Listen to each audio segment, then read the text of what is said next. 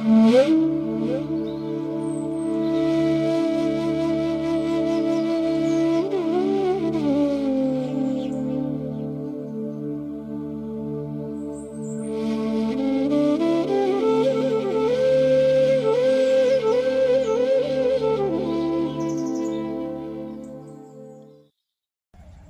स्थापकाय च धर्मस्य सर्वधर्मस्वरूपिणे अवतारवरिष्ठाय रामकृष्णाय ते नमः। নমস্কার। শ্রী শ্রী ঠাকুর, শ্রী শ্রী মা এবং স্বামীজি মহারাজের চরণে প্রণাম, নিবেদন করে। আমরা আজকে আচার্য নগেন্দ্রনাথ বা মহর্ষি নগেন্দ্রনাথের আলোকে স্মরণ করব। শুনবারও নিয়ম আছে, বসবারও নিয়ম আছে। আমরা প্রত্যেকে জানি যে ঊনবিংশ এবং বিংশ শতাব্দীর ঠিক মাঝামাঝি সময়ে নানান গুণের ধারক, বাহক এবং প্রচারক ও সংস্কারকদের মধ্যে অন্যতম নাম যোগাচার্য মহর্ষি নগেন্দ্রনাথ, যিনি আঠারোশো ছেচল্লিশ থেকে উনিশশো ছাব্বিশ এই সময়কালব্যাপী তার মহাসাধনা তিনি অতিবাহিত করেছিলেন এবং এই মহাসাধকের পবিত্র উপদেশামৃত সত্য প্রদীপ পত্রিকায় প্রথম পাঠের পর লেখক রঘুপতি মুখোপাধ্যায় তিনি এগিয়ে এসেছিলেন। এবং এই নগেন্দ্রনাথের উপদেশামৃত সংকলন করে পরবর্তীকালে নগেন্দ্র মঠ থেকে একটি সুন্দর গ্রন্থ বেরোয়, যার নাম নগেন্দ্র উপদেশামৃত। সেখানে বলা হচ্ছে একজন শ্রোতা বলছেন, শোনবারও কি নিয়ম আছে? না কোনো জায়গায় ঈশ্বরীয় কথা হচ্ছে? শুনে বসে গেলেই হলো। তাতে বলছেন, এই মহাসাধক উত্তর দিচ্ছেন, বলছেন, দেখুন, খাবার সময় যেমন যেমন তেমন অবস্থায় খান না। হাত পা, মুখ ধুয়ে, গামছা বা তোয়ালে দিয়ে মুখ মুছে, আসন বা পিড়িতে বসে খাবার ভগবানকে নিবেদন করে। তাকে খাওয়াচ্ছেন ভাবেন। সেই সময় কেবল খাবারের দিকেই লক্ষ্য রাখেন। অন্য কোনো কথা চিন্তা করেন না, বলেন না। এবং সেই রকমভাবে খেলেই হজম হয়, তুষ্টি, পুষ্টি দুটি লাভ হয়। তেমনি ভগবানের নামও শুনবার সময়, গুণকীর্তন করবার সময় কি করতে হয়? অনন্য চিন্তন হয়ে এক মনে শুনতে হয়। তাতে হৃদয়ে ছাপ পড়ে এবং নিজেকে গড়ার মশলা পাওয়া যায়। এই শুনতে শুনতে কি হয় শোনার ফল? তন্ময়তা। তন্ময়তার ফল ভাব। ভাবের ফল ভগবত পদে আত্মসমর্পণ।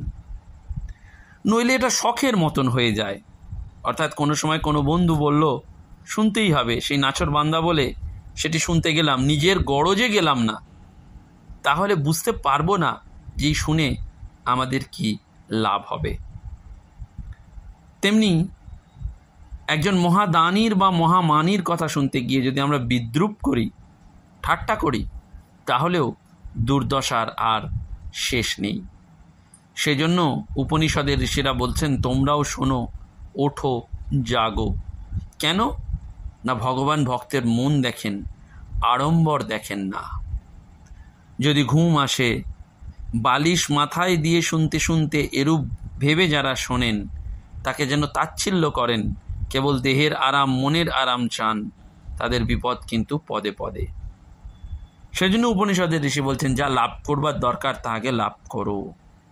বিশ্বাস ঘট স্থাপন না করে যদি চলতে যাও, তাহলে পদে পদে দুঃখ আসবে। অর্থাৎ আমরা যদি ব্যাখ্যা ঠিক করি, তাহলে বুঝতে পারি যে আমাদের নিঃশ্বাস প্রশ্বাসের গতি যদি ঠিক না হয়, তাহলে শরীর যেমন রুগ্ন হয় বিষম অনশনে আমরা যেমন আয়ুহীন হয়ে পড়ি, শরীর ভেঙে পড়ে, আমরা সোজা হয়ে বসে শুনতে পারি না। জীবনী শক্তির ক্রিয়া আমাদের মনে ক্রিয়া করতে পারে না। ঠিক তেমনিও ভগবানের ক্ষেত্রেও এই হরিকথা শুনতে শুনতে যারা উঠে যায়, তারা যেন আত্মঘাতী, অর্থাৎ নিজেরাই নিজেকে যেন আত্মহত্যা করছে। অর্থাৎ মনটি যদি একমুখী না হয় তাহলে চিন্তাধারা ধারাবাহিকতা না থাকলে কিছুই হবে না। বলা হচ্ছে divided attention will do will not do অর্থাৎ হরিকথা শুনতে যারা ভালোবাসে, তারা মনে করে যে আমাদের কথাই তো হচ্ছে। কি বলছেন শুনি, এইটি।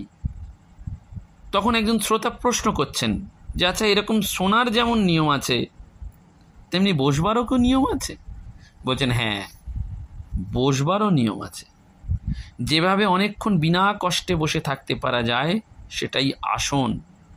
এই আসনটি কারুর কারুর জন্য সোজা, কাউকে কাউকে দীর্ঘকাল নিরন্তর শ্রদ্ধার সঙ্গে অভ্যাসের দ্বারা আয়ত্তে আনতে হয়। যেমন পদ্মাসন, সিদ্ধাসন, সহজাসন, সকলের পক্ষে এটি হয় না। জন্ম জন্মান্তরের সাধনা এবং সুকৃতির ফলে এক একজনের কাছে এক একটা আসন সহজে আয়ত্তে আসে। কিন্তু সব কিছুর মধ্যেই পদ্মাসনই হচ্ছে সর্বশ্রেষ্ঠ। এতে শ্রোতাকে একেবারে শিরগ্রীব হতে হয়। সাধনকালে উদ্ভূত তড়িৎ শক্তি সহজে সংহত হয়, মনে পবিত্র ভাব জাগে এবং একাগ্রতা আসে। বসবার দোষে সেটি সম্ভব হয় না। সেজন্য বলছে, চিন্তা যেমন হবে, শরীরও ঠিক তেমন রূপ নেবে। চিন্তার তুল্য জ্বর আর নেই। শরীরের জ্বর আয়ুর্বেদিক অ্যালোপ্যাথিক বা হোমিওপ্যাথিক ওষুধ সারাতে পারে। কিন্তু মনের জ্বর, সে জ্বর সারাতে হলে চিন্তামণির চিন্তা দরকার। যে আসনে আমাদের সুবিধে হবে, সেই আসনেই আমাদের বসতে হবে এবং দেখতে হবে তাতে যেন অন্যের ব্যাঘাত না হয়। সেজন্য চঞ্চলতা ত্যাগ করে স্থির হয়ে আসনে বসে শোনার চেষ্টা করতে হবে। এখন প্রশ্ন আসতে পারে, কেউ যদি বলেন যে সভা আসনে শুভ নির্জনে হতে পারে, কিন্তু সভার মধ্যে নয়।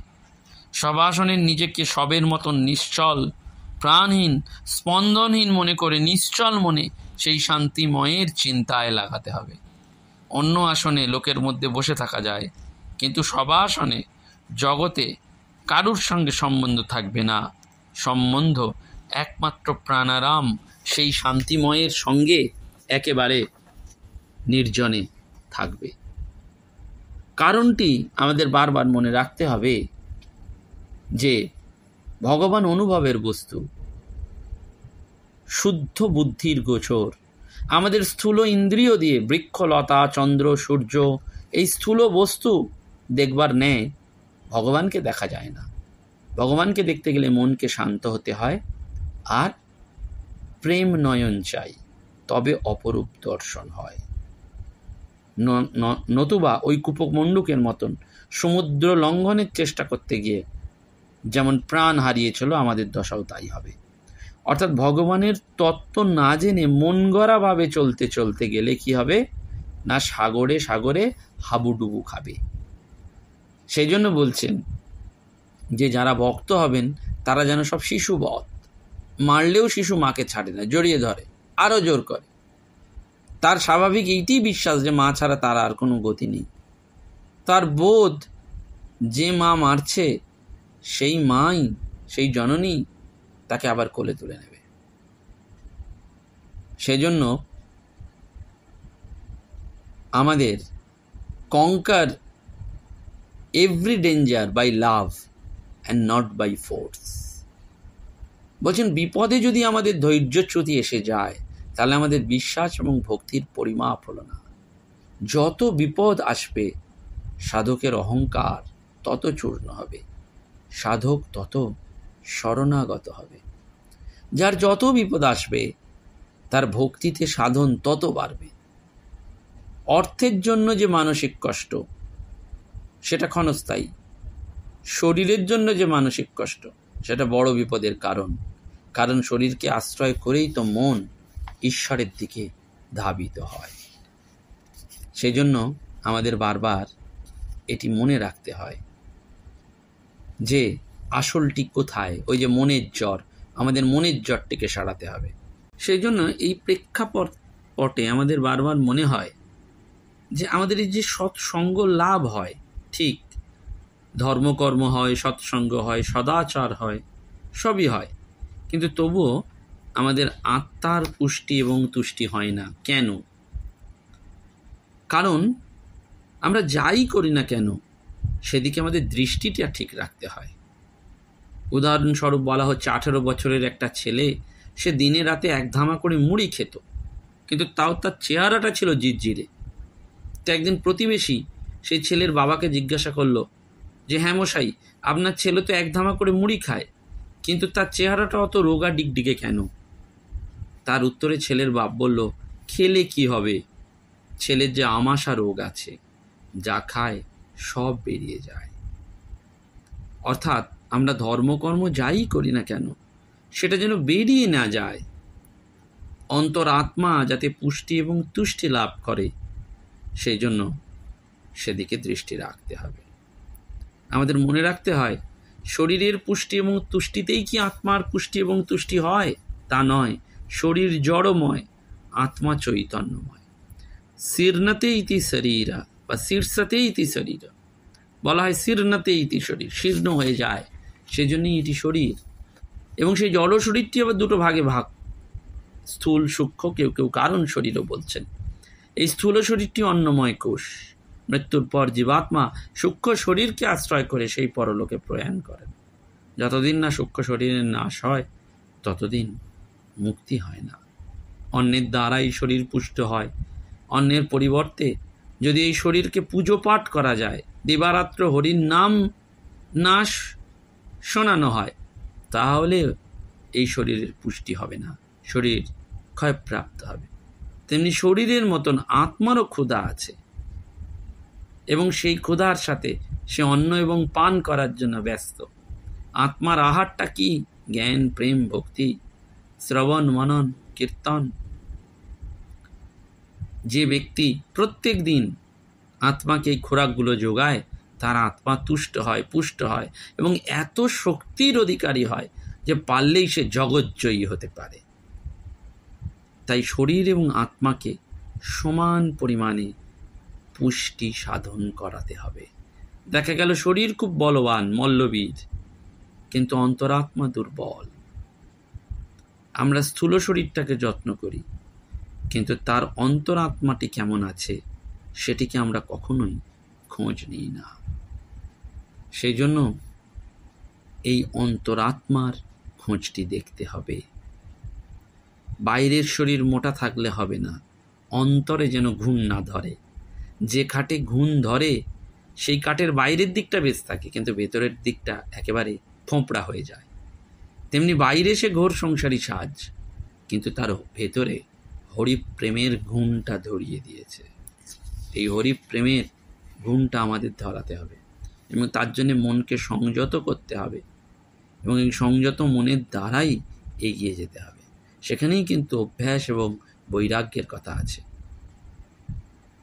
বারবার বলা হচ্ছে যে অভ্যাস এবং বৈরাগ্যের দ্বারাই মনকে বশীভূত করতে হবে। অর্থাৎ বশীভূত মানে দৃঢ় সংকল্প ফার্ম অ্যাটাচমেন্ট সেই জন্য এইটি যখন এসে এসে যায়, তখনই আবেগের সাথে সে জপ করতে পারে। এই জন্য এই মহর্ষি নগেন্দ্রনাথ বারবার বলছেন না, সুন্দর করে বলছেন, যে মধু যিনি পান করেন তিনি জানেন এই মধুর আস্বাদন কিরা পান না করলে মধুর আস্বাদন বোঝা যায় না, তার স্বাদের উপলব্ধি হয় না। ঠিক তেমনি হৃদয়টা প্রেম রসে সিঞ্চিত না হলে তার স্বরূপটা অবগত হওয়া যায় না। আমাদের ঠাকুর শ্রীরামকৃষ্ণদেব বারবার সেটি বলছেন, মনেতেই মুক্ত এবং মনেতেই বদ্ধ। আমাদের এই মনটি হচ্ছে আসল। নগেন্দ্র মঠের কথা আমরা প্রত্যেকে জানি। শ্রী শ্রী রামকৃষ্ণ কথামৃতের মতন সেই নগেন্দ্রনাথ বলছেন না যে, সংসারী সাজিও, সংসারী হইও না। আর সাধুকে বলছেন, সাধু হইও সাধু সাজিও না। অর্থাৎ আমাদের আসলটি হচ্ছে এই নগেন্দ্রনাথ, সাধক নগেন্দ্রনাথের যে জীবন, সেটি আমাদের বারবার মনে হয় যে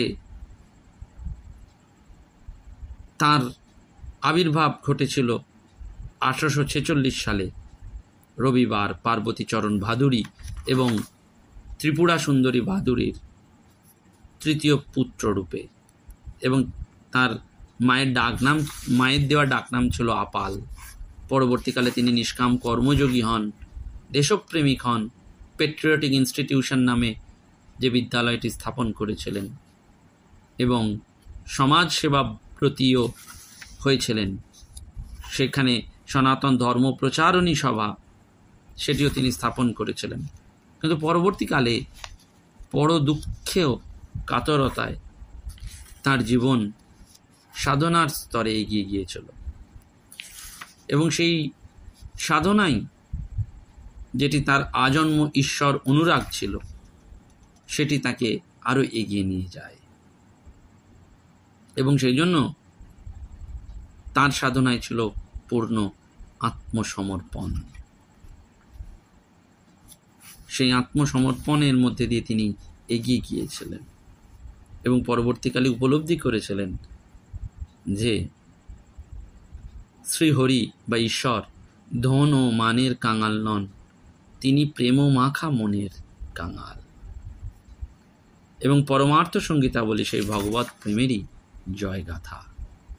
আমরা স্মরণ করলাম আজকে, তার কারণ আমাদের ওইটি মনে রাখতে হবে অধ্যাত্ম জীবনে be good and do good be God and make God অর্থাৎ আমরা সৎ হব, সৎ কাজ করব। এবং ওইটি be God and make God এই নৈতিক সত্যের আধ্যাত্মিক পরিপূরক দিক, দিকটি। অর্থাৎ আমরা ভগবানের সন্তান, সেই বোধে প্রতিষ্ঠিত হব এবং অন্যকেও সেই বোধে প্রতিষ্ঠিত হওয়ার জন্য এগিয়ে দিয়ে যাব। সেই জন্য আমাদের পজিটিভ সাধন, শাস্ত্রীয় ভাষায় এই পজিটিভ সাধনই হচ্ছে ওম তৎসৎ আর নেগেটিভ সাধন হচ্ছে নীতি নীতি। আমরা সেদিকে যাচ্ছি না, কিন্তু আমরা এই মেক গড অর্থাৎ একটা রাষ্ট্রীয় বিপ্লব, সমাজ বিপ্লব, সেটি কিন্তু ঈশ্বরকে কেন্দ্র করেই। সেজন্য আমাদের মনে রাখতে হবে যে এই শ্রী হরিকে পেতে গেলে, ঈশ্বরকে পেতে গেলে জ্ঞান, ভক্তি, কর্ম, এই তিনেরই সমন্বয় সাধন দরকার। এবং আমরা বুঝতে পারব যে আমাদের সত্যিকারের হিতৈষী চার রকমের আছে, শারীরিক, মানসিক, নৈতিক এবং আধ্যাত্মিক। যিনি শারীরিক হিতৈষী, তিনি অসন, বসন, ভূষণ, নিকেতন এইসব দেখবেন। মানসিক যিনি, তিনি মনের দুঃখ টুক্ষ, এগুলো সব দেখবেন। কিন্তু আসল আধ্যাত্মিক, তিনি এগিয়ে নিয়ে যাবেন। এই যুগাচার্য মহর্ষি নগেন্দ্রনাথ উনিশশো ছাব্বিশ সালে দোসরা নভেম্বর তার ইহলোক ত্যাগ করে চলে যান। কিন্তু কতিপয় তার শিষ্য ছিল নগেন্দ্র মঠ ভবন আমরা পাই, কিন্তু আমাদের বারবার মনে রাখতে হয় তার জীবনটি ছিল সেই বিশ্বাসে প্রতিষ্ঠিত। সেই বিশ্বাসের মূল জায়গায় ছিল, কি মহান মূরতি তোমার? অতুলন অনুপম দ্বিতীয় নাহিক আর হে বলা হচ্ছে faith is the part and parcel of true religion it requires no demonstration the deeper the faith in him the greater the experience of his blessings বিশ্বাস যত গভীর হবে, আশীর্বাদের গভীরতাও তত বাড়বে। সকলকে প্রণাম। আমরা মনের জটটা সারানো নেবে পড়ব।